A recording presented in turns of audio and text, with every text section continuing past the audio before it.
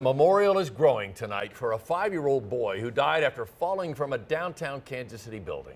Police investigate still, but neighbors of Grayson O'Connor who knew him now planned a memorial service for tomorrow. They'll hold it near where he died. Fox 4's Malik Jackson is there live, 10th and Grand. People continue to come by, leave mementos remembering his life. Malik?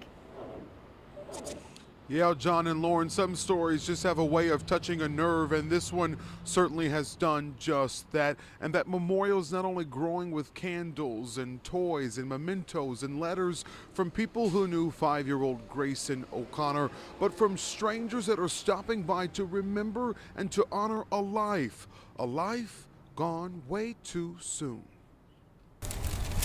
You didn't deserve this or how you were treated your short life. The system failed you so bad. Rest in peace, little one. Spider Man mask, toy trucks, dinosaurs, and the Nutcracker. Things five year olds generally enjoy.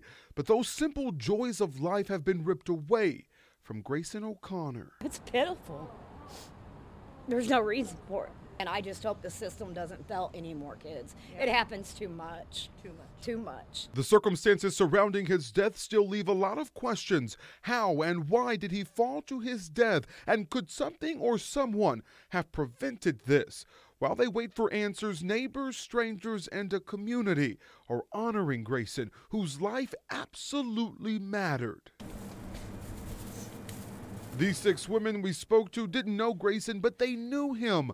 Some are mothers who have had five year olds themselves and could never imagine the pain. We would have known before we would have cared. Like yeah. we, we all are very protective of each other. We look out for each other's kids and everything. For now, KCPD's investigation will proceed. Two days ago, police named Grayson's mother as a quote, subject of interest, but did not give any other details as to why. Those you made an impact in their lives while you were here for a short time will never forget you and will not stop until you have justice. Rest in peace.